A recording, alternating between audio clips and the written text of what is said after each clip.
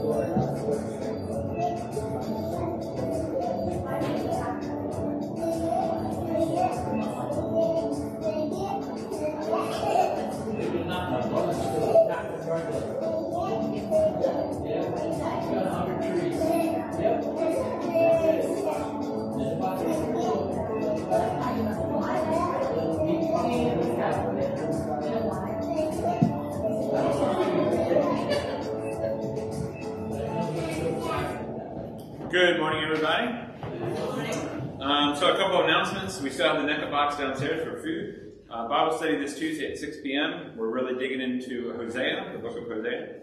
Uh, also, at the end of the month, the last Tuesday of the month, we'll have a potluck dinner. Um, even if you don't come to Bible study, you come to the movie. It's called The Chosen, and we're on episode two. So, if you want to catch up, it's free on Amazon Prime and Netflix, right? Peacock. Peacock, But we also have the DVD want to borrow. And we have the DVD want to borrow to catch up. Um, it's a series about Jesus. It's really good. Uh, 6th through 12th graders, the encounter's coming up in two weeks. So uh, the 25th, um, make sure your money is in, like, hopefully way before the 25th, but if not, Next Sunday. next Sunday. Yeah. So that would be great. And if you don't have a willing, uh, we have people who are willing to help pay if you don't have the means. So uh, just let us know. Actually, let Katie know too. Um, board meeting next week, not net week. Net week. It's net week. Uh, and uh, if, um, yep, that's about it. Any other announcements? I know that was like hitting a wall right there with me.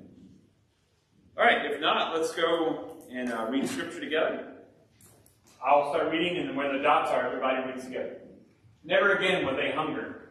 Never again will they thirst. The sun will not beat down on them, nor any scorching heat. The Lamb of the center of the throne will be their treasure. He will lead them to springs of living water. And God will wipe away every tear from their eyes. Are there any prayer requests? Uh, yes, especially uh, Ukraine and Russia. Uh, Shelley, yep. Shelley's on some new medicine and, and just she's hurting right now, so just pray for her. The Tolly family is hard. JT Tolly and the whole Tolly family, yes. and Ellie. Also pray for Katie, her foot. Um, I think we, she pulled a tendon. So uh, just pray for her healing. Also pray for uh, Cheryl. Uh, her mom had a stroke last night and um, is not doing so well. Uh, Steve and Susie Marr. Um, it's a friend, uh, a friend in at school. Um, he needed uh, to pray for him. Um, just all the medical needs, especially COVID and things like that. Help us to have a revival in the land. Help us to have 100 people by end of 2022. And um, uh, February 27th, I'll, I'll be gone with Katie to the Monadnock. Um, I really need a lot of prayer to help find people to, to lead. Um, all it is is really praying and talking. I just need somebody up here. Um, and so uh, just pray that God will find the right person um, and to go smoothly that Sunday. I'm always nervous when I leave, so uh, just help me to relax also. Uh, those who don't know Jesus, and definitely our government and, and school, um, and voting coming up so- shortly too, so pray for all that, uh, for God's wisdom to be with us. Anything else? Um, we should start praying for the teams we're going to. Yes, pray for the teams going. It's a four-hour trip, so pray for us there too. And some teams are driving with us, so pray for us there too. Anything else? All right, if not, let's go to God in prayer. God, we are so thankful to be here together, and thank you so much for letting us uh, use technology also. And uh, I pray for those who are uh, on Facebook and those who are here that um, all of them will be answered according to your will, not ours. We thank you that we could um, encourage one another and equip each other for service and for uh, life itself. God, we know we're in a spiritual battle, and uh, I just pray that we will uh, know that the armor of God is, is right there for us, that we can uh, read our, our Bible, and that we can spiritually be prepared for anything. God, we thank you that you are loving and merciful, and that we can repent if we ever feel like we're going away or we've done something uh, against you. Uh, God, I pray that we will repent and come back to you. God, I pray for revival in the land, that our hearts will change and that this country will come back to you. And uh, God, nothing is beyond saving because you have, um, have given away through Jesus Christ. God, I pray for the military and the government and uh, pray for peace in Russia and Ukraine. And I pray for the government to make wise choices and help the military to be protected also. God, I pray for Cheryl and her mom and things that are going on there. Uh, she's uh, very upset, but uh, God, your will will be done. I pray for Steve and Susie Marr and the, things, the medical things that they're going through. I pray for JT and the whole Tolly family, and especially JT with his back. And God, I pray for uh, Ellie with uh, the health issues that she has right now, and uh, strengthen Sarah and to help her to help her, her family. God, I pray for Katie's foot and that it may heal and that you may get her back from this this time. God, I pray for Shelly and, and that the doctors will help her and the medication.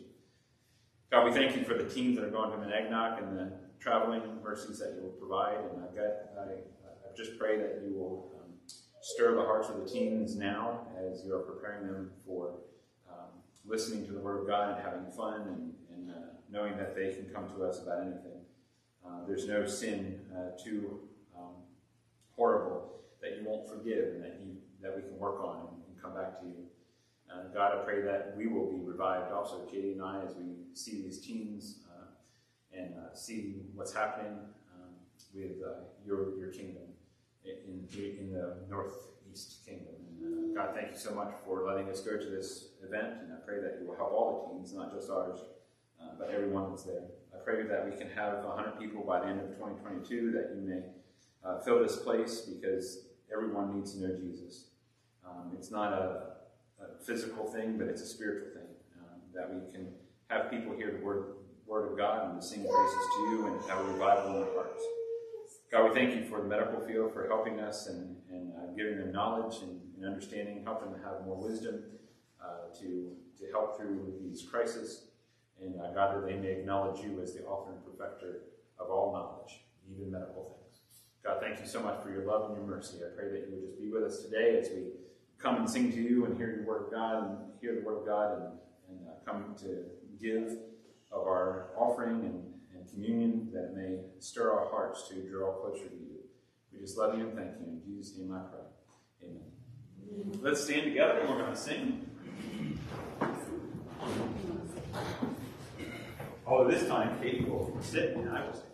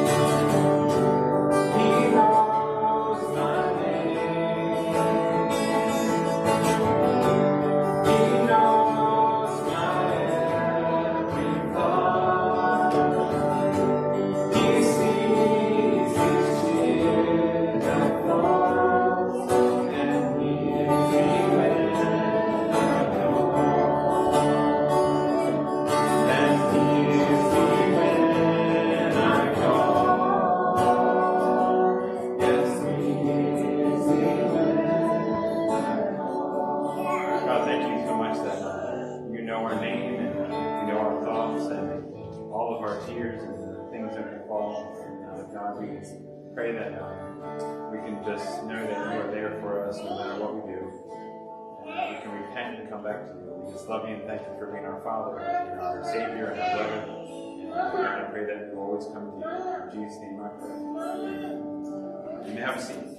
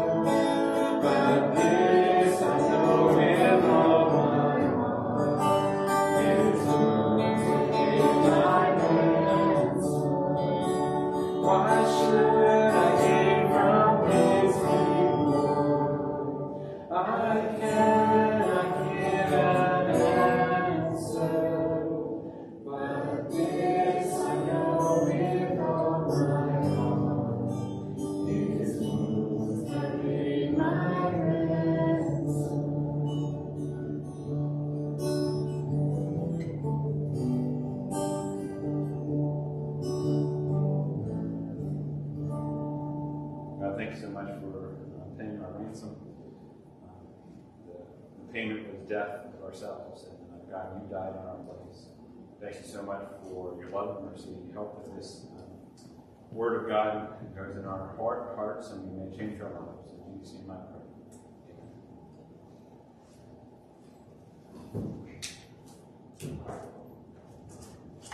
Andrew is going to take down the little kids until fifth grade.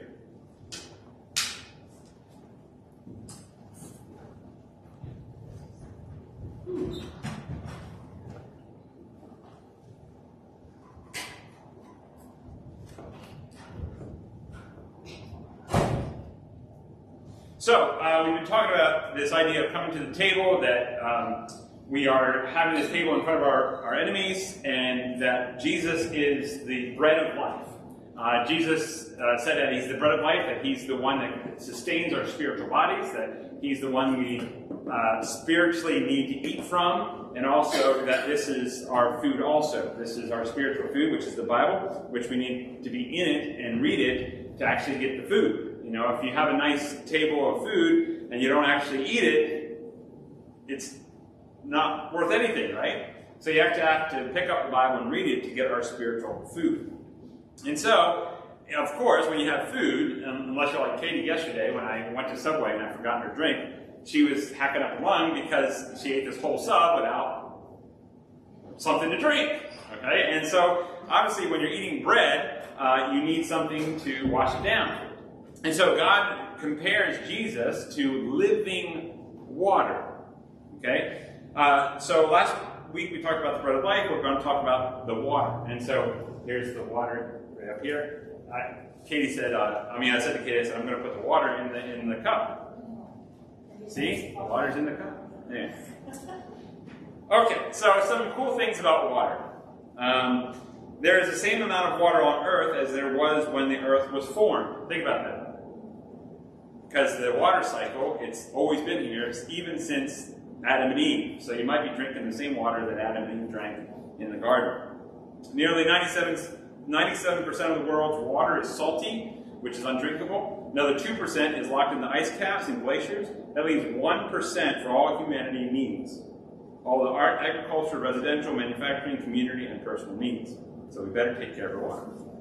Water regulates the Earth's temperature. It also regulates the temperature of the human body, carries nutrients and oxygen to cells, cushions joints, protects organs and tissues, and removes waste.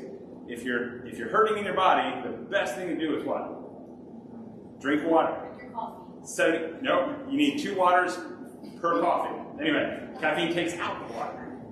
Um, so you need at least eight to ten glasses of water. I usually get like 72 ounces. I'm a freak with water. You know, there you go. Okay, I just love my water. Um, 75% of the human brain is filled with water. 75% of a living tree is water also. So we all need water. A person can live about a month without food, but only how long for without water? One week, seven days. Then your organs start shutting down. Uh, the average total home water use in America is how many gallons per day? 50 gallons a day per person. So that's you know four times five. That's a lot of gallons in our house. The average cost for water supply to the home is about two dollars per 1,000 gallons, which equals about five gallons for a penny. Just think if milk was that cheap. Anyway, water expands by 9% when it freezes. Frozen water is lighter than water, which that's why ice floats. And water, the living water, is the most important thing to our spiritual bodies. And so we're going to be talking about the living water. Now, I'm going to I'm going to mess with your mind because everybody thinks when you talk about water, you're talking about physical water, right? We're talking about spiritual water. So I'm going to go from physical to spiritual a lot. So hopefully you can keep up. It's okay if you can't. Then you can read this in the Bible when you get home and you're like, oh yeah, this is it. But just try to keep up. So the living water sees opportunity. Now, when I say the, the living water, guess who I'm talking about? Jesus. Okay? And so the living water sees opportunity. So Jesus here is going to see an opportunity, and we need to see opportunity also. John 4 1 3. Now Jesus learned that the Pharisee had heard that he was gaining and baptizing more disciples than John, although in fact it was John, it was not Jesus who baptized, but his disciples. So he left Judea and went back once more to Galilee. Now he had to go through Samaria. Uh-oh. So he came to a town in Samaria called Sychar, near the plot of ground Jacob had given to his son Joseph. Jacob's well was there, and Jesus, tired, and he was from his journey, sat down at the well. It was about noontime. When a Samaritan woman came to draw water, Jesus said to her, Will you give me a drink? His disciples had gone in town to buy food. Now, some, there's some interesting background that you need to know. Typically, Pharisees and Sadducees and most of the Jews did not associate with Samaritans. They kind of hated them. Uh, they called them halfies. Uh, they were half Gentile, half Jew. They were kind of the, mm, we're not going in that district, you know what I'm saying?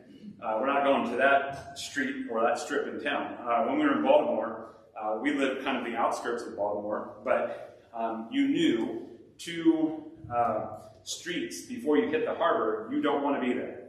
Okay? Typically, all the drugs are there and all the other things, if you can just imagine.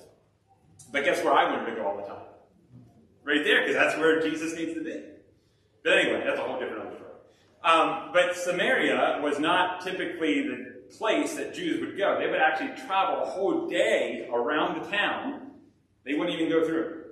And so here's Jesus, obviously a Jew, um, going into Samaria. And then, not only that, his disciples went to buy some food at the Samaritan, you know, uh, place where they bought food. Which is interesting because I wonder what the Jew, I wonder what the disciples were talking about. Dude, does he not know not to go through there? And so here is not only Jesus encountering a Samaritan, but a, a woman.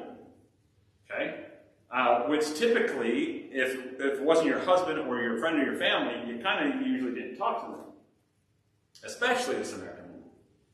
So we have to understand here's Jesus seeking an opportunity with somebody who nobody really wanted to care about. And it's interesting also that the Pharisees and Sadducees were told in their law to be the light or be the example to these people. And yet they went around a whole day's worth to just skip them. I think that's why Jesus was so mad at the Pharisees and Sadducees, the leadership, the, the, the uh, religious leadership, because they were not leading spiritually. They were leading by law. They were leading by, well, we don't feel like doing this. Or they, or they interpret it however they want. And so instead of condemning this woman that she was a Samaritan and that she shouldn't, they, they shouldn't be talking, he sought an opportunity to realize love and understanding. Now it gets kind of complicated here because the woman is thinking of the physical well and water, and Jesus wants to bring the opportunity that he is the living water, that she doesn't have to thirst spiritually anymore. So she's kind of on this edge of why are you here? Why are you getting physical water? And you're talking about water. So we'll go on here. Jesus seizes the opportunity and he talks about the worldview. Now, what is a worldview? We'll talk about that after I read the scripture. John chapter 4, 9 through 12. The Samaritan woman said to him, You are a Jew, and I am the Samaritan woman. So even the Samaritan woman was like, Dude, you're a Jew. Why are you talking? How can you ask me for a drink? For Jews do not associate with Samaritans. I love that they put that in there. Jesus answered her, If you knew the gift of God and who it is that asks you for a drink, you would have asked him, and he would have given you what? Living water. Of course, he's seeking an opportunity here to teach spiritually.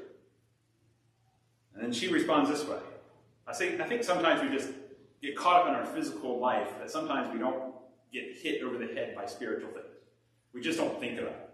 And I think that's maybe where she was coming from, that, yeah, she knew the spiritual stuff that the Jews believed, but she just, in the moment, you just get caught off guard.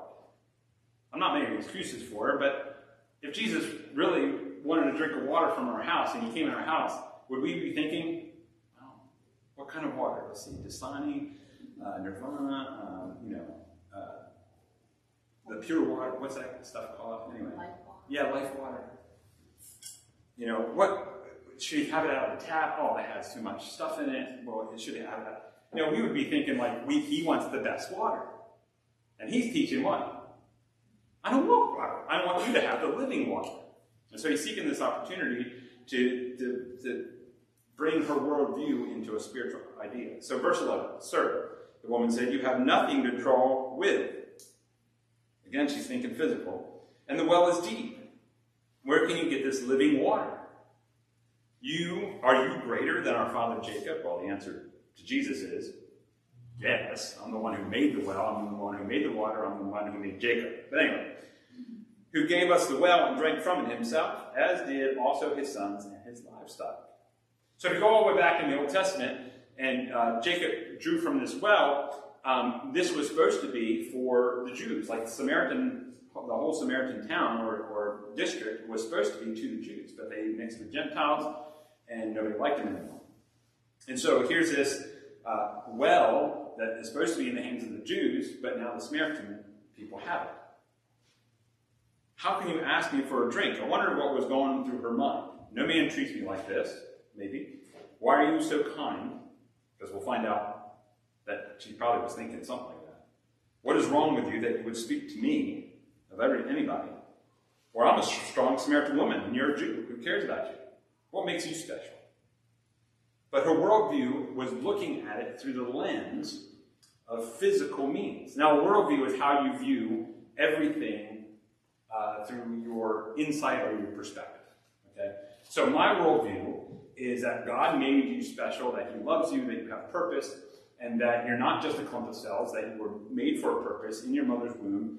Um, you were one in a billion, and you need Jesus. That's my whole worldview. So everything that I do, if I'm doing a computer program, if I'm doing going to help somebody, if I'm encouraging somebody at school, I'm doing it for the fact that I want to bring them to Jesus.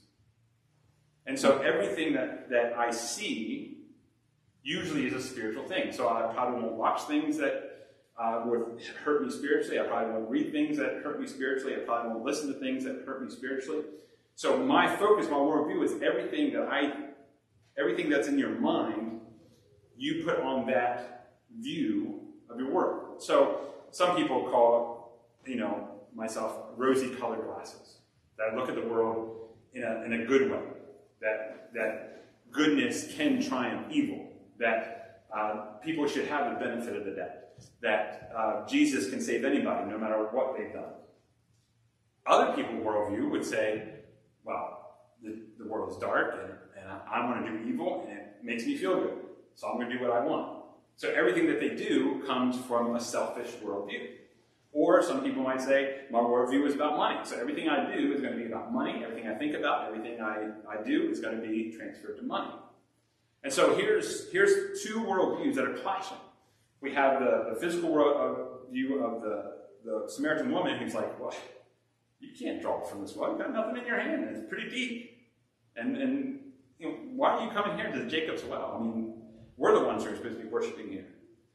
And then you have Jesus who's thinking what? Spiritually, every opportunity is a spiritual opportunity to bring someone to Jesus. And so they're really clashing over this idea of what is going on here. And so the living water will change your worldview. It has changed my worldview drastically. Now, it didn't happen like right after I became Christian, it didn't happen right after. Okay? It took a while. okay? I still was seeking physical things over time. But slowly, as the Holy Spirit convicts you, you will start changing your worldview as in, okay, is this godly? Is this what God wants? Is this what will help others before myself? Or the worldview of, I'm going to put myself last and everybody else first. And here is the physical idea of this woman looking for physical water. But Jesus is teaching about living water. So it's going to come to a point where it's going to smack her in the face and she's going to realize. Watch this. So the living water will fill us up eternally. It's not just something that we drink and we're like, oh, we need more. Look at John chapter 4, 13 through 16. Jesus answered, Everyone who drinks this water will be thirsty again. So he's, he's talking about the physical water. You know, we always have to have water. I'm a water hog. Actually, it's a good opportunity to say, I need some water. If you want to drink your water, that's fine. After the operation, I can't, like, chug my water. I used to, like, chug the whole thing. That would be filled up, but can't do that now. But anyway, uh, but whoever drinks the water I give them never thirst. So he, he transitions from physical water to something that is spiritual. Indeed, the water I give them will become in them a spring of water welling up to eternal life. Now, that, that picture. So you're going to have enough water that it's going to spill over to eternity. So you start your Christian life, you start your heavenly house where? Here. You are already with Jesus if you're a Christian. And so that water is going to bubble up, and guess what you're going to do? You're going to share it with others. It's going to bubble up, and you're going to have that eternal life.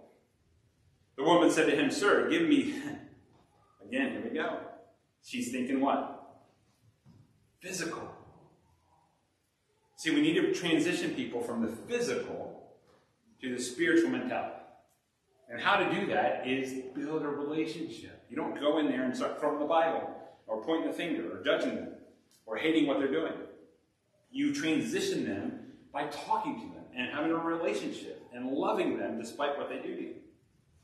So here he says, Sir, give me this water so that I won't get thirsty and have to keep coming here to draw the water. As a preacher, I'll be like, oh, this is a little frustrating. Okay, but Jesus, He has patience. He's good. He's wonderful. He's amazing. I need to have more patience like him. He told her, Go. So he wasn't getting anywhere with the whole physical water, living water. So guess where he turned to? He turned back to the physical to bring her in more. Here we go. He told her, Go, call your husband and come back. So this water is eternal. This water, when you get Jesus, you have eternal bread. That means you're not going to hunger for other things. You know, when we hunger for sin, we're like, ooh, we need more, we need more, we need more, we need more. And then it turns into, you know, this huge sin, and everybody's like, they just woke up one day and started doing that. No, it started over here, a little bit of sin, and you started by choice to get to this point. Nobody wakes up one day and says, I'm going to murder you. Okay? But it starts over here with hate. And then you don't deal with the hate, and then you have jealousy, and then you have, you know, plotting their death, and then you murder them. Okay? You don't wake up one day and say, I'm going to go take money out of the bank the wrong way. Usually over here, you get, you know, you want money, you would have lust after money, and you don't, you can't get it, so it turns into this. Same thing here. When we have eternal water, we won't need anything else anymore. It fills us up.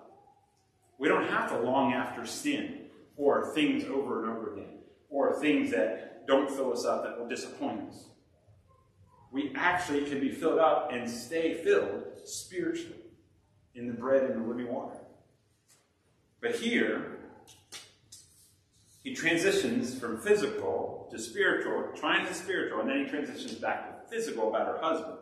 This is the reason why it's surprising that he's talking to her. Let's go to the fourth point here. The living water brings the spirit and the truth. So he knows the truth about this woman. Okay? He knows.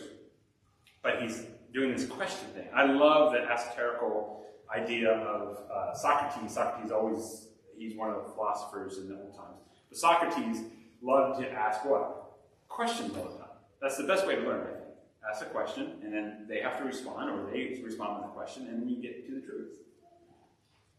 Well, here's Jesus doing the Spirit and the truth. Not just the truth, but the Spirit. Look at John 4, 17 through 24. now, Jesus knew this. Okay? He knows everything. But why would he want her to admit this?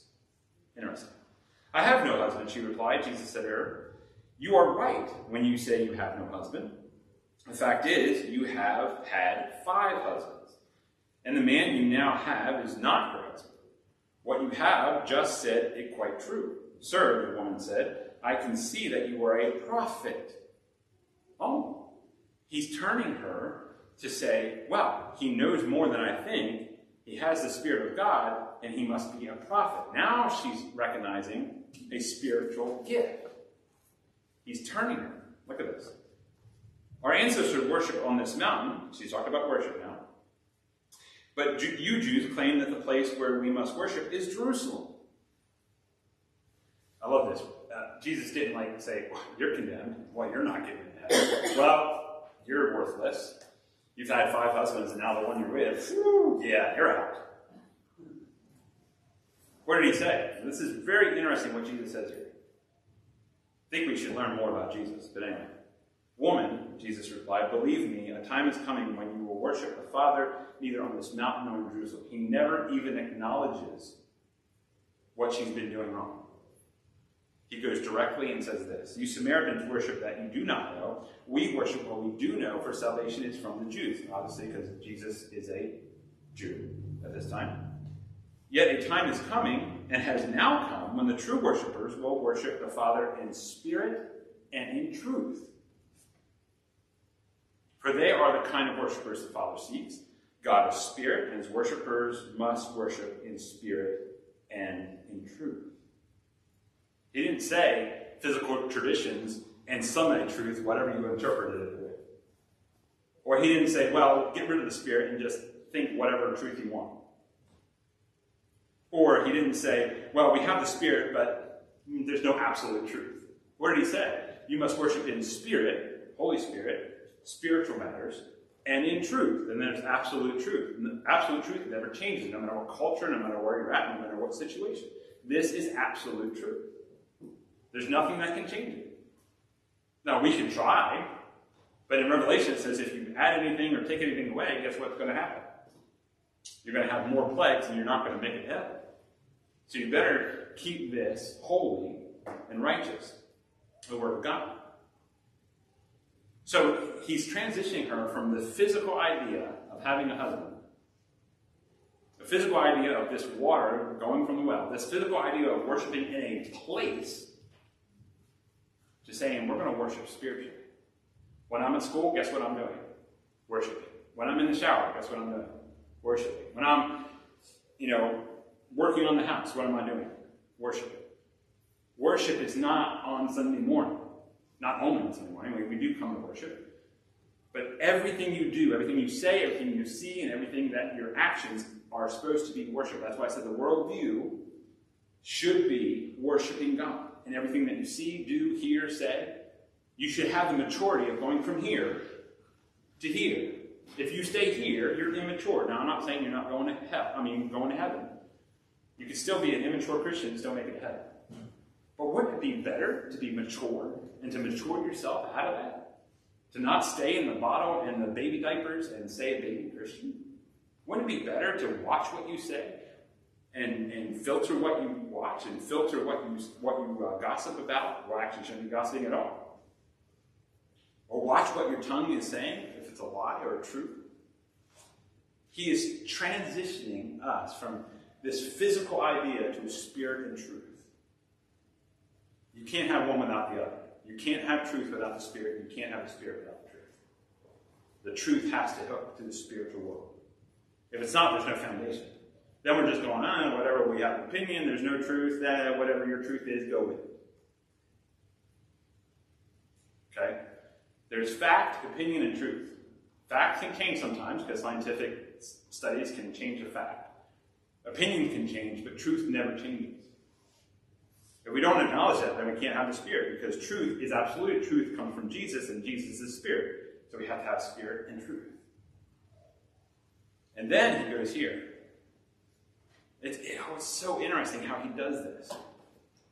He talks about her mistakes, but then transitions to worship, and that he's a prophet, and then he just, I love it. And um, I don't think he's like slamming on the pulpit or like jumping up and down, but he just has this subtle way of saying, aha, you've. Now I'm going to tell you the truth. John 4, 25 through 26. The living water is Jesus. The woman said, I know that Messiah, called Christ, oh, this just gives me chills, is coming. When he comes, he will explain everything to us. Then watch what he says. This uh, just makes me happy. Then Jesus declared, I, the one speaking to you, I be. Can you just feel the woman's like spine tingling, like I'm in the presence of God? I mean, I don't. It doesn't say in Scripture what she she does, but I'm sure. I mean, it does say after what she does, but I mean, it doesn't say if she fell to her knees crying. It doesn't say that she hugged Jesus and, and just like embraced him. But I would be like, wow, he's standing in front of me. Actually, you need to go to uh, John chapter 4 and read the rest of the story. I'm not going to tell the rest of the story. See what she, see what she does. It's awesome. The, the quick response she has when she is faced with a spiritual worldview. It is awesome. Actually, I'll just tell you. She goes and gets the whole town to come see Jesus. I mean, it's awesome. She's like, well, if you're Jesus, I'm going to invite my neighbors, my friends, the people who don't like me, the people who do like me, they're coming to you. Wouldn't that be cool? Even not even a Christian, and people are like, go to that, go, go to that church. That, that's where Jesus' word is being preached. That's where the truth is. I might not go, but you need to go.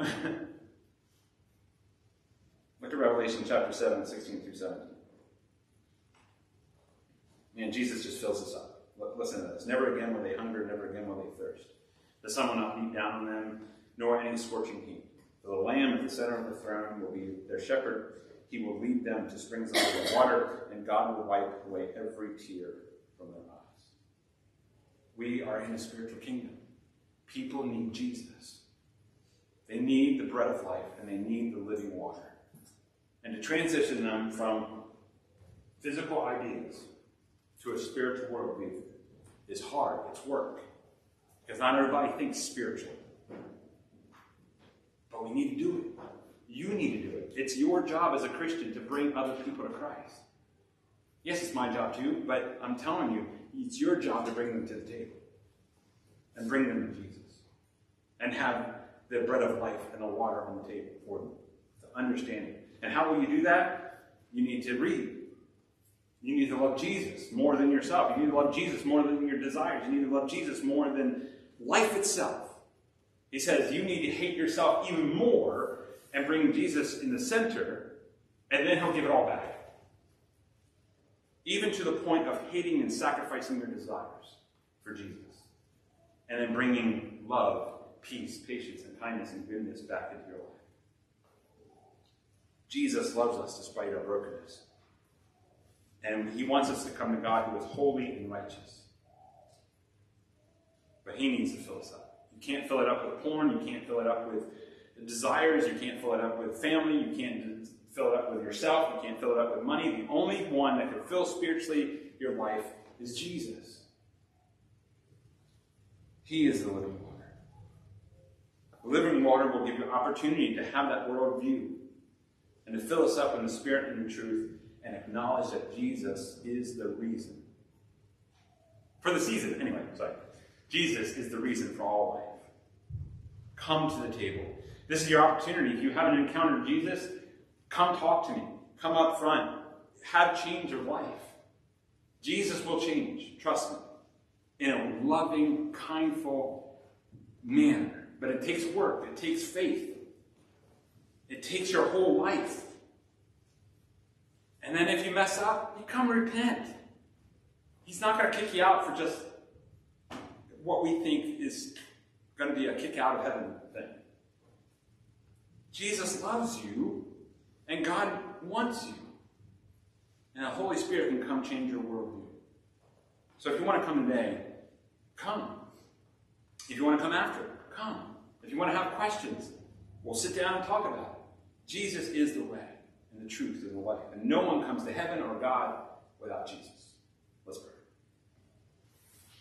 God, thank you so much um, for the living water. Thank you so much for the bread of life. And it all points to Jesus. If we don't have Jesus in our life, it's just very hard to live with a spiritual outlook. It's hard to have hope.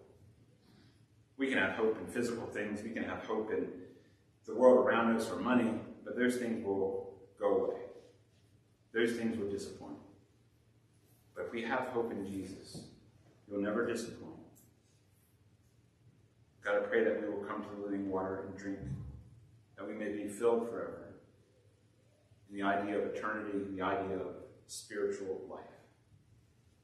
God, thank you for the living water, the bread of life, which is Jesus. Help us to realize that. In Jesus' name I pray. Amen. Amen. So at this time, an offering. Um, offering? Oh, sorry. That's okay. Uh, 1 Corinthians chapter 13. Ooh, ooh, ooh. I get to look it up in the Bible. 1 Corinthians chapter 13. Does anybody know what that is? The love chapter. Why do we say it like that? You ever notice? It's not that kind of love, so I don't know why we say it. The love chapter. little buried right there. Um, so, 1 Corinthians 13, 6 and 7. Check this out. Love does not delight in evil, but rejoices with the truth. It always protects, always trusts, always hopes, and always perseveres. That's what should be the definition of a church.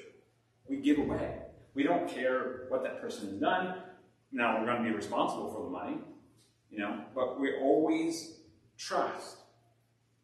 Well, here's a gift card to the supermarket. Go get some food. Or here's some cans of food. Or here's this community organization that will help you with food and we'll take them. We always hope. We always hope for the best. When we give money away from the church, when we give food or when we give help, we always hope that they come to Jesus. Always perseveres. This church has been around, what, 148 now this, this year? Something like that. And what's their main purpose? To love people. And how do we do that? That you worship God through your giving. And then we give back. We show the love. If we don't show the love, if we just say, Well, I love you, go hungry. I love you, go naked. I love you, go to jail. And what, what good are we?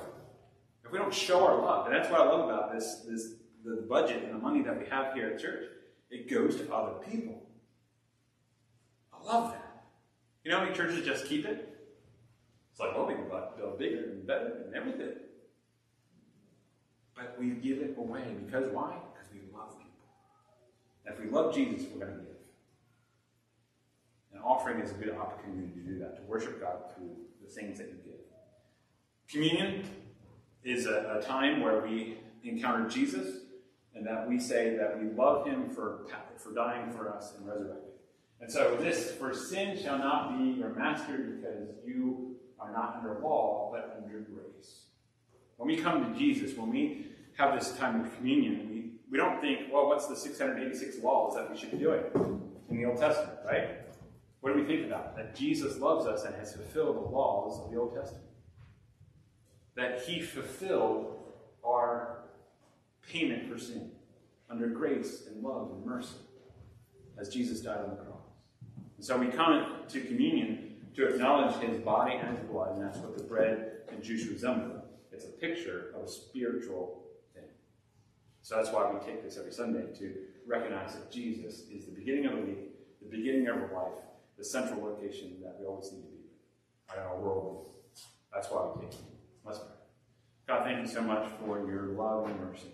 Thank you for your grace that you went to the cross and uh, gave us so much love that uh, it brings us to love you more and to bring to love other people more and to uh, love God. We thank you for your sacrifice. In Jesus' name I pray.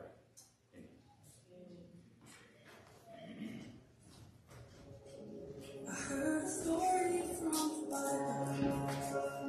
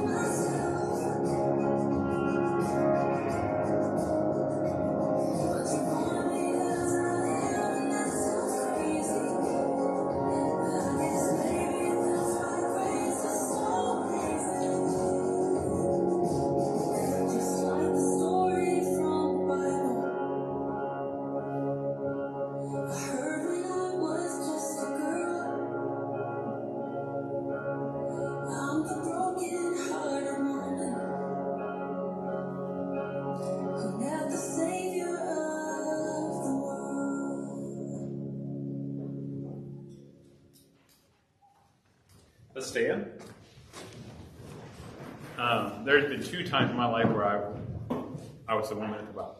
Um, hopefully, you're not at that point in life, but if you are, Jesus can give you hope. Um, and um, it's amazing how He can turn things around so quickly and so wonderfully uh, that you don't have to feel like that. But um, if you're at that point, or if you're if you want to know about more about Jesus, come and we'll talk. Um, he is the Savior of the world. Let's pray. God, thank you so much for this day. Thank you that we could be together and that we can encourage and equip each other to, for your service. I pray that you would just uh, convict us, help us to change um, the things that we think, the things that we say, and the, the actions, um, that it may be under your worldview, uh, the spiritual world. We just love you and thank you. In Jesus' name I pray. Amen. Have a great week.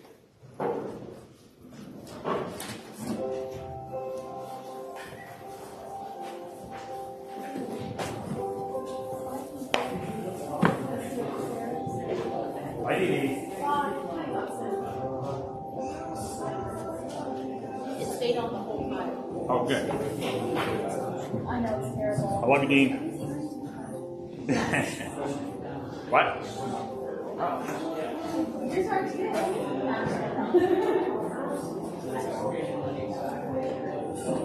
Yeah. Uh, yeah, I could have a couple So I'll give you like three dates and then we'll see what we can do. Cool.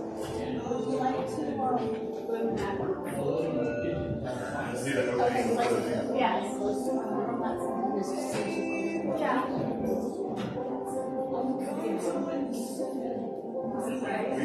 Right? Oh, no, no, no.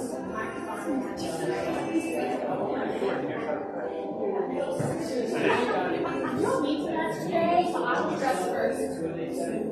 I have, more I have more faith in your husband than you. Sounds like a plan. I have more faith in him than you do.